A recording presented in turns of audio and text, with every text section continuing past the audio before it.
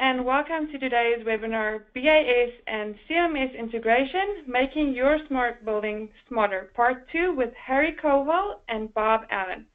Before I introduce today's presenters, I'd like to remind you that there will be an opportunity for questions at the end.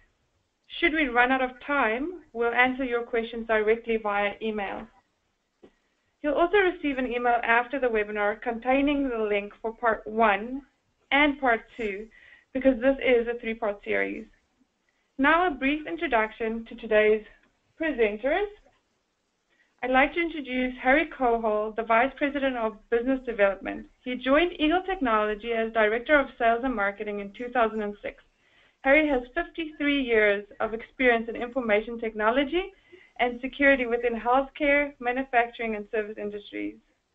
Bob Allan, LEED Green Associate, is the Global Business Development Manager for Intelligent Buildings and Strategic Alliance for the Siemon Company. Bob has over 15 years in the IT industry helping customers optimize and integrate their buildings. Recently, Bob was appointed as the Vice Chair of Continental Automated Building Association, CABA, Intelligent Building Council. Okay, Bob, it's over to you. Thank you very much, and I appreciate everyone who's taking the time out of their day to uh, join us today. Um, we're going to talk a little bit about building automation systems and why they're important to your building. Uh, as we take a look at that. Uh, the first question is, you know, what is a building automation system?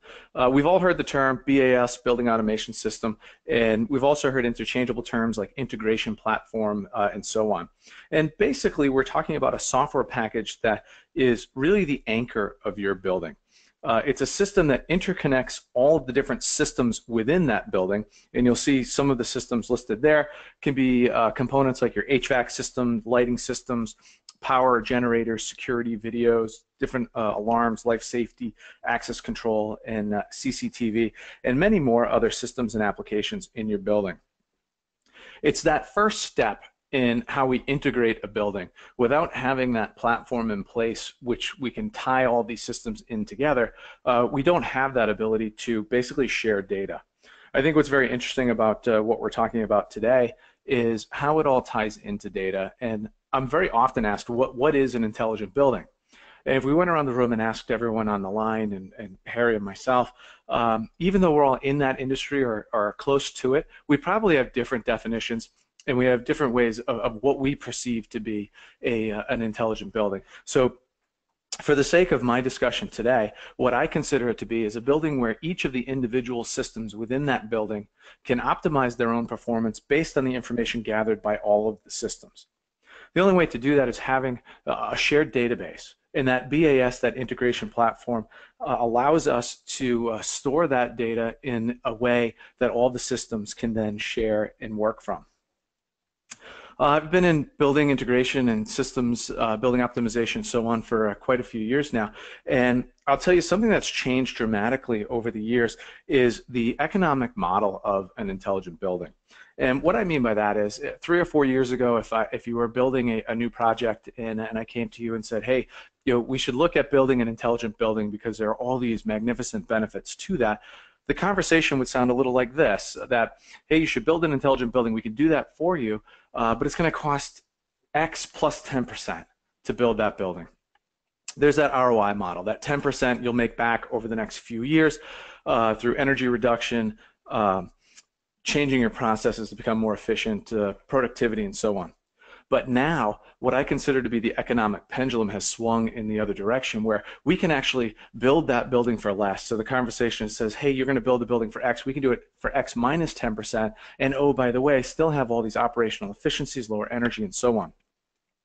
Here's an example of a, a project that uh, that I'm currently involved in, where we talk to the customer about uh, what they're in, what they're putting for systems in their building today, and we knew right off the bat they had HVAC, lighting, uh, generators, UPS, elevators, access control, utility meters, and life safety.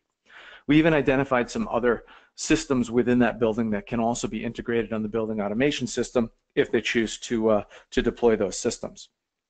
And when we looked at that, uh, we were able to come up with uh, almost 300,000 in, or I'm sorry, uh, 480,000 in savings for that uh, for that project.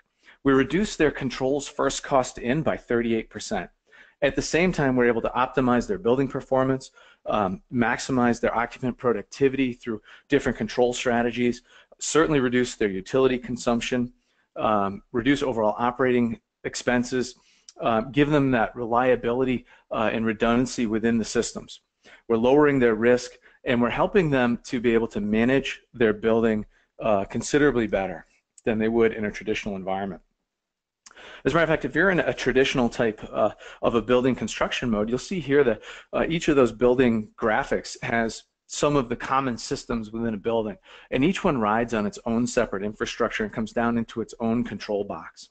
A lot of uh, you know, a, lot of detriments to designing your building that way. Can you do it? Well, sure. We have buildings that have been around for hundreds of years before we had uh, integration platforms, and yes, they're functioning. But fact of the matter is, there's just a better way. Um, when we have this type of siloed environment, then we have different types of interfaces, different types of network, different uh, communication protocols where they're not speaking the same language, different power types, different uh, actual cable types to connect all these different systems. Gives you a higher initial cost, lose a lot of uh, economy of scale there. Uh, the fact that each of the interfaces is purchased separately or using a, a, different software for each of these systems, one makes it expensive on the procurement side, but also makes it difficult on the training side and the ongoing operations where uh, people have to be specialized in each of those systems just to understand the, uh, the software side of it. Certainly when you expand that portfolio from one building to multiple buildings, uh, the degree of difficulty uh, goes up exponentially with trying to understand the energy demands of your portfolio, understand what uh, buildings are working better than others, and how you can replicate that uh, that type of success. Also limits uh, the ability for buildings to communicate with each other. Uh, maintenance is a lot more expensive. We end up having truck rolls more often than than probably necessary uh, all leading to uh, the length of time to diagnose problems. Some of the other issues that we see in, in our traditional buildings, um, again, having those different power supplies, infrastructure, and so on, uh, multiple networks to perform the same systems. Uh, and I, I have the word redundant in the slide, but I don't like to use that word only because uh, redundant implies, implies that it's a backup, but it's really not. We're using multiple systems to perform the same tasks when we could be leveraging uh, the same assets within the building. And it does make it very challenging for our IT department. But I think one of the, the biggest drawbacks to that traditional system is the ability to get data. When we have all of these systems that are talking different languages, uh, the ability to pool that data together and share that with other systems is very expensive. We can do it. We can do it in legacy buildings and things like that, but the cost goes up. And um, the analogy I like to use is I could take this presentation and I could go present to um, the uh, Congress in Washington, D.C. Relatively inexpensive presentation. Uh, they may not like or they may like what I have to say, but they'd understand it very easily. If I were to take the same presentation and go to UN, it's a much more expensive presentation. We now have to translate it to people who don't speak English. Uh, we lose the value of that data because things that I say do not translate directly into other languages. Uh, so a, lot of drawbacks there in the ability to uh, to make that information accessible to all the different systems in a, a manageable and, and really optimum type way. When we have that uh, traditional type building, our networks tend to look like this. And the, uh, the key takeaway here is each of those horizontal colored lines represents that different communication, that different cable type, different power. And what you'll really notice is my dots of information are only going from their own system, whether it's CCTV or lighting, to their own control software back down to that individual system. The data is not being shared throughout the different systems. When we look at intelligent buildings, the three things that, I, that I'd like you to consider is one, rethinking the way that you design, the way you procure, and the way you deploy your buildings. Uh, the building to the left is just another graphical representation, as we saw earlier, of all the systems and their own proprietary networks down into their own proprietary software. What we're suggesting is that building to the right, and it starts with a single unified IP infrastructure. That's where the Siemon company comes in. We manufacture high-quality infrastructure, your category 5, 6, 7, fiber, and all the associated passive layer there. Uh, takes a different means of procuring. So typically when you, uh, when you put specification documents on the street for an intelligent building, uh, you would uh, say put the cameras out there with the, the camera models and so on, and within that would be a cable portion. And what happens is the camera companies typically don't install cable, so what they'll do is they'll subcontract that. And when they do, if you multiply that times all the different technologies out there, uh, they, you can't guarantee they're going to sub that to the main cable installer on the job. So you may have all of these uh, extra subcontractors that we don't need. We can eliminate the subs by taking all of that infrastructure and pulling it back into its own specification, um, giving you that one throat to choke model in the infrastructure. Now the camera or the card access teams, they can do what they do best. There'll be a service loop waiting for them and so on. The other big change is specifying the integration platform up front, that building automation system. And one thing I'll suggest is rather than doing our traditional RFP, request for proposal or price, doing an RFQ or request for qualifications where you're interviewing that platform up front and developing a relationship with them. And a lot of times um, they'll do open book pricing because by specifying them up front we don't know what this system is going to cost. So it gives you that level playing field. But having that in place now gives you the ability to specify all of the edge devices to be compatible to that integration platform. So we're not telling you the manufacturer that you need to use for your edge device. What we're saying is whichever manufacturer you choose or responds to that RFP needs to comply with these specific communication protocols that are generally open so that we have no proprietary systems. Um, and by doing that, we eliminate the need to have to buy their proprietary software. All of that can be done at the integration platform level. What's made this possible is some changes in the industry. Uh, all the systems within the building are now collapsing down onto the network. We had our phones that came down late 90s, early 2000s. Coax uh, came off of that with cameras. BACnet became BACnet IP. Uh, now we have lighting. With lighting came sensors and ventilation equipment. And this has been the real game changer in uh, the construction industry and the way we're looking at buildings and building analytics. Lighting is no longer about lights. when we look at IP lighting or digital lighting, it is now creating a sensor network throughout the building. Lighting is our most dense application in a building. And with that sensor network, it is collecting the data that all of these other systems need to optimize their performance.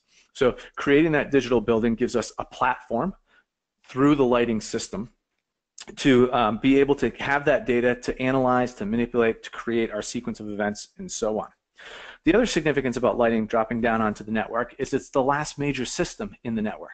We can, or in the building, we can now design a complete IP building from top to bottom. When we do that, our networks look more like this. There's that single unified IP infrastructure based on structured cabling, that blue line across, and now you'll notice my dots of information are going everywhere. Um, the BMS represents, um, or the BAS represents that integration platform, but the information is being shared with all the different systems within that, uh, that building giving us that single converged IT network at economy of scale. It's, it's a less costly infrastructure than our traditional line voltage. In a lot of cases, we're eliminating two different types of infrastructures gives us easy expandability. Also for our multinational firms, it allows us to replicate buildings anywhere around the world to a degree that we have not been able to replicate in the past. Gives us a platform for analytics and gives us actionable alarms uh, in, within our system. We also can reduce our installation time, cost of infrastructure and training. Moves, adds, and changes are, are much less costly. And even though we're sharing network resources, we can still uh, offer unique services to the different departments. But by far, the biggest value, other than the lower capital costs to construct of an intelligent building, is the ability to collect and analyze facility usage data through IP-enabled sensors. And we're going to talk more about that later, so I'm not going to spend a ton of time on that. And the best part is I'm going to talk a little bit uh, more about capital savings here. The best part is you really don't even need to believe what I have to say. The, we design buildings for a reason. We can determine upfront what the savings for your building will be before you dig a hole in the ground. When we have that single unified infrastructure in place, we can leverage power over Ethernet for incredible savings. As a matter of fact, the North America average for deploying line voltage or AC power to an edge device is about $1,000. Within that, we have a circuit breaker, a panel, a transformer, AC cable, conduit, junction box, electrician, the whole nine yards. We can deliver a power over Ethernet category cable drop to that same location for about $250. That's figuring about $100 for a power over Ethernet port in the telecommunications room and about $150 for an open air Cat5e drop. So every time we leverage power over Ethernet on this infrastructure, we're saving about $750. Things that we may not be doing now, access control, computer systems, uh, the bulk VAV controllers through building automation systems, uh, actual PoE computers. I have a, a I have a PoE computer on my desk with a 22-inch monitor running Windows 10, and the only connection to the building is that land drop at my desktop time and attendance machines, battery chargers for phones and PDAs, uh, all kinds of great. Basically, everything this side of our major uh, our major components can be have a power over Ethernet uh, counterpart. If you were to leverage power over Ethernet for every device that I'm aware of, um, you would pick up uh, about 169 low voltage drops per 10,000 square feet of construction, which results in about $126,750 in capital cost savings. Because remember, every time you leverage low voltage, you're removing line voltage or AC, as well as in most cases a communication cable. That's 1.2675 million per 100,000 square feet of construction. So to sum it up, when we have our closed systems, we don't have the integrated uh, building, it costs more. It costs more to procure, costs more to deploy, and costs more to operate. Having open systems gives us incredible day one savings as well as ongoing savings in the building. Uh, we can minimi minimize our installation costs. Commissioning is much quicker. We can even do things like constant commissioning. Uh, measurements and verifications to confirm the savings uh, is much easier and more accurate. Uh, lower labor costs, less overlap in the trades. Um, we can also maximize manufacturer design through prefabrication capabilities. Uh, and the bottom line is we're maximizing your building performance for the life of your building, the total cost of ownership here, right through construction, uh, through the operations phase. So with that, I will uh, turn it over to, uh, to Harry. Thank you. Thank you.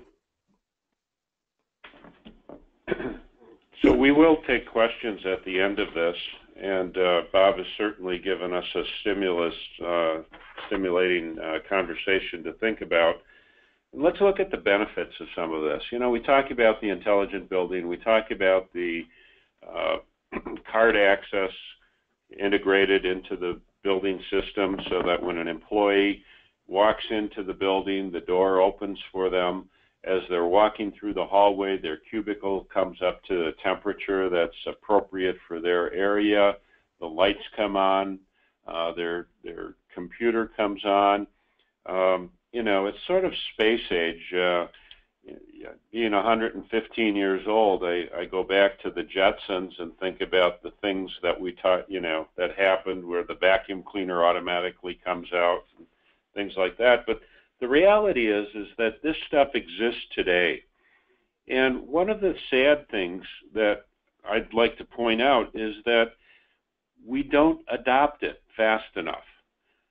We are reticent to pick up on the savings that are available for our companies. We're reticent to adopt new technology. Um, and that's part of the problem in the industry. You know, we talk about the silos the construction industry is one of the most siloed industries there, that exists. And how do we, in, as individuals, help change that, right? Smart buildings make a lot of sense. They make dollars, dollar, you know, the savings types of sense. Smart buildings equate to smart data. When your when your systems are all tied together, you can start looking at intelligent data for the entire facility or multiple facilities, right? And we have actionable alarms. And those actionable alarms give us actionable intelligence, as Bob said. Um, how many times have we called a, a service contractor only to find out that it was something simple. You know, a, a, parameter was set wrong in the building system, or something something simple occurred, or more importantly, that the building isn't functioning well, right? Because the systems aren't integrated. Um, we look at the, the benefits of integration. We look at the benefits of integrating to maintenance software, and the return on investment is a huge uh, return for most organizations. The data today goes to the cloud. And we talk about moving data to the cloud, and people worry about things like, uh, well, our IT people don't like that. They want it all in the building. Or uh, we can't have our data in the cloud because it's not secure, or we're concerned about uptime. Those are all valid concerns, but the technology today allows quality security, it allows uptime, and it allows your uh, data to be available anywhere in the world with the proper security access. Today, people need the ability to do their job wherever they happen to be. Uh, with multiple facilities under your responsibility, potentially you're on a plane and you have to reset parameters on a building uh, control system. Uh, and you can do it, right? You don't have to be sitting in the facility anymore. Moving your data to the cloud helps access. IT, a lot of IT organizations try to protect their turf, okay? Um, this is a people issue. It's a, it's a uh, cultural issue that needs to be overcome. Just like the siloing of con the construction industry, it's a, it's a cultural thing. We need to accept change. We need to address change. And we need to look at the technology that's available to be able to best serve and compete on a global basis. One of the things that you want to look at is your return on investment. Okay? We need to explore the technologies because, as Bob said in his presentation, one of the things that he can prove right up front in a retrofit or new construction is the cost savings that you're going to incur. Right? And if you don't believe the numbers, um, let your CFO look at them, right? Because they're they're going to give it great scrutiny. The numbers that are put in place are don't lie. It's as simple as if you walk through and count the number of lights in the building and look at the wattage per bulb that that the lights are sucking and then convert it to LED and know what watts that would would would utilize. You're able to calculate accurately based on the number of fixtures, the number of bulbs, uh, the new cost, the cost of installation. All of those things are believable. Well, the same thing is true taking the approach that Bob's presenting here. But we can't be afraid to do it. Yes, it takes time. Yes, we have to sell it. But that's part of our job in maintenance and, and, and uh, operations. So we need to be able to take time, look at the investment, look at the technologies. You know, we've got CABA uh, with its resources. We've got IFMA coming up uh, in, in Chicago. There's going to be a ton of new technology. And if you don't take the time to look at it and explore it, you're not doing yourself or your company any justice. Maintenance software you know, one of the technologies that's that's come into the in, implementation of maintenance software is the um, process of COBIE, capital C-O-B-I-E, and we're able to take that and look at it as a lean process, where during the construction process, instead of everybody uh, checking off and doing their own thing and keeping information siloed, the COBIE process shares information and collects it throughout the entire implementation process or construction process. Again, it's a responsibility to help the C-level people get introduced to these processes, these technologies, so they can take advantage of them and you, your organizations can become more cost competitive.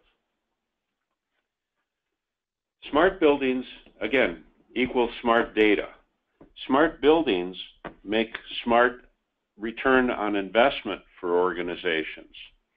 And it's up to us as individuals uh, to learn, to take the time to investigate, to do the calculations, to work with organizations like CABA and um, to get the information that you need to improve your operations on a day-to-day -day basis. At this time, um, I'm going to open up the floor to questions. And I have a question for Bob. Uh, Bob, in terms of smart data, what have you have you seen any uh, specifics that have helped your clients uh, to date that you could share with us? Yeah, the best specifics I can give you on that is uh, really thinking about what you need for an outcome of your building during that early design phase. Uh, because when it comes to data, it really has to do with normalizing that data and being able to understand how it interacts with all the different systems. So if you don't lay that design criteria, uh, which all your specifications will be based on moving forward, then you'll put yourself in a position of bad data. And as we all know, you know, bad data in, bad data out, and that results in um, bad analytics and bad decision making. So uh, that's really what it boils down to. And what I think is very interesting about both of our messages is that we're really not asking the customer to do anything differently when they build their building. We're just asking them to think about how they're going to do that differently. Again, specifying uh, slightly differently and making sure they're open protocol and so on so that the analytics can take over and optimize their buildings. Very good. I, I think that's it's it's a very important message, and I think it's one that we don't you know we don't have a lot of time. Our our facility people are consumed in day-to-day operations, and it's asking a lot to take a step back and actually investigate and take the time to learn about these new technologies. Um, and, and of course, integration of maintenance management via BACnet, picking up all the data, being able to uh, put actionable information in place for the people to uh, operate more effectively on a day-to-day basis is something that both of our organizations help accomplish. Uh? I have a question for you, or I'd like your comments, Harry, on something here. Um, I've noticed a big change in uh, the way that uh, facilities administrators are actually setting up maintenance cycles based on the technology that you're talking about here, the analytical technology. And the example I like to use is that um, we're used to being in, in an environment where we change our filters every six months, 12 months, whatever that number may be, whether they need it or not. And now I see data affecting the way that we do that, where you know some of our rooftop units can probably go 18 months, and some really need it in three or four months. So we're doing more need-based maintenance rather than calendar-based maintenance. Can you comment on that and how how you're changing the way people think about running the buildings? Yes, absolutely. Um, that, that's one of the key components of integrating your maintenance software into the building intelligence system, right? Um, you can get sensor data. You can, if you do have a clog filter, of course, you, you're wasting energy and you're not getting quality air, et cetera.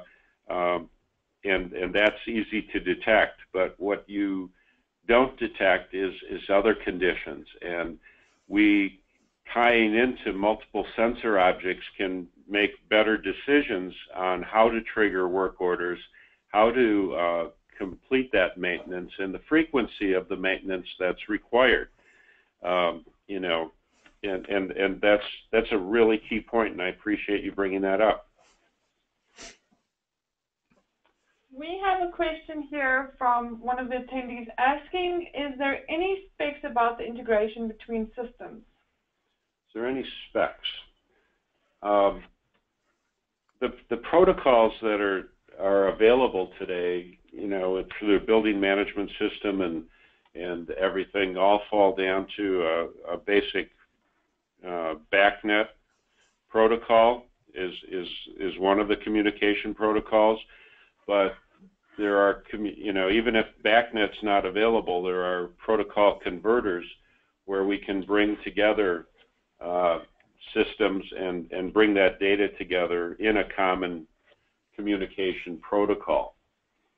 Uh, He's using the example as integrating metrics between the system. Integrating metrics. Okay. Well, that gets into uh, an another component, which is the, the building intelligence component. And we'll, we'll talk about that a little bit in our next session, but building analytics, building building intelligence uh, comes from the analytical component, and uh, there are a number of, of products that Eagle integrates with our Proteus MMX uh, to build, uh, bring building analytic data together into the network in addition to the sensor objects, etc. So um, that's that's something we can cover in our next session.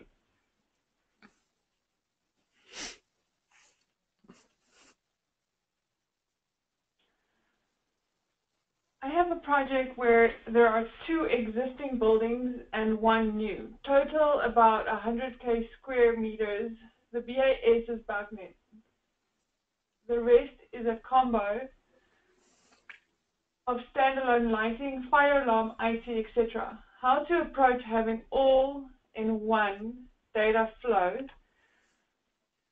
Sorry, um, when specifying a new CMMS for all three. Bob, bringing together from a, a cabling standpoint, if you want to address that? Yeah, absolutely. So, what I the way I I see this uh, type of scenario is um, you have the opportunity to start with a blank canvas in that new building, because essentially what you're going to do is you're going to design that new building in a way that's going to support all the systems within that building through a unified cable infrastructure, through common protocols, through an integration platform, and through a, a CMMS that is a cost associated with the new building that will lower your cost to build it. And then once that platform is in place, now you can make a business decision on the value of bringing in those other buildings. And Harry alluded to it before. There's going to be some tra uh, translation issues that go on there that do uh, that will have a cost associated with that. But you have the base system included in that new build, which will save a ton of money uh, in bringing in those older buildings. I'll point out that the cost of protocol converters has dropped drastically, and that bringing data into a single subnet, um, there a lot of the integrators in the in the industry are are very capable of doing that. So that's something that, again, exploration, uh, new technology, uh, it, it, it exists.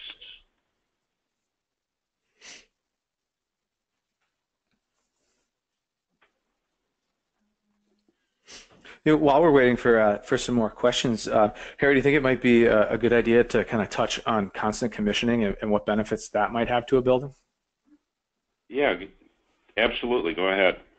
So one of the benefits to the analytics is what's called constant commissioning. And when you deploy a building before the keys are turned over, you go through a commissioning process, and that, that process basically ensures that all the systems and devices in that building uh, are operating as specified when the building was designed. The problem with buildings are like most things, as you use them, you tend to drift. It's kind of like the alignment in your car. As soon as you pull off of a new car lot, your alignment starts to drift out of whack. And at some point, you start to suffer on your fuel uh, energy consumption. You suffer on your tires. They wear quicker until you get a new alignment. And then everything is back to being optimal performance. Through the analytical software, we can do what's called constant commissioning that periodically looks at all of the devices and systems within your building and recommissions them, reinsures that they're operating at their uh, as they were initially specified to operate, giving you the optimum performance throughout the life of that building. Very good point. Uh, and unfortunately, a lot of companies build new buildings and don't take the time to even begin the. They they cut the cost and don't do the commissioning which leads to more problems down the road. Uh, and premature but, wear on systems, absolutely. Right. So, you know, having a having integrated systems, uh, bringing you live data in real time, uh, along with building intelligence, is definitely something that's going to pay off in the long run for your organization. I think that sort of sums up the session today. Uh, if any of you have any questions that you want to get in touch with Bob or myself, uh, please feel free to contact us directly.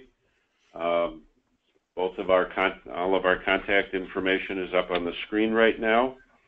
Um, we can work one-on-one -on -one with anybody. We'd be happy to answer any questions, and we appreciate your time very much for today. Bob, I want to thank you for your time. Thank you for the invitation. And I know someone had asked if we're available for in-house presentations, uh, and certainly uh, I'd be more than happy to collaborate with Harry on a, an in-house presentation for anyone or anyone's customers to talk about this uh, this methodology. Absolutely. And uh, again, we appreciate all of your time. Uh, it's a good step in learning about what is new in the industry and how it can help you as a facility operations manager uh, help your organizations become more intelligent and uh, more competitive in today's marketplace. Before we drop off, there was one question that just came in that I think might be worth a minute to answer, and it was um, the, uh, one of uh, the listeners here struggles with the uh, realization of savings on ongoing or going with PoE. While you may save on cable runs, the cost of your capacity on your network switches increases, and certainly the power capacity is still needed to power the switches. Um, the fact of the matter is you can actually, it is less expensive to deploy PoE than it is to uh, deploy line voltage, especially when you consider there may be two infrastructures to support an edge device. Um, I can't speak for all manufacturers, but I'm very familiar with the Cisco products, and they have a specific switch that's called the Cisco Digital Building Switch, designed specifically to support low voltage lighting systems, IoT, and intelligent building environments. The cost per port on that is very low, and it has the ability to push out about 60 watts of power per port to an edge device. So we're able to support larger devices like 2x4 lights, uh, high power cameras, things of that nature. Um, and when we look at that uh, holistically, it is a, a lower cost um, to deploy using PoE rather than your traditional uh, line voltage. Okay, um, I think we'll wrap the session up. Thank you, Bob. Thank you, Harry, for your time. Just a reminder for all the attendees, we will be sending out an email that contains the link to access this recording of this webinar. Um, we hope you enjoyed it. Feel free to email us and ask any other questions, or if you even want to make suggestions for next webinars, feel free to email us at webinars at eaglecmms.com and visit our site at eaglecmms.com. We will um, send you more information as the day goes by, and thank you very much for your time.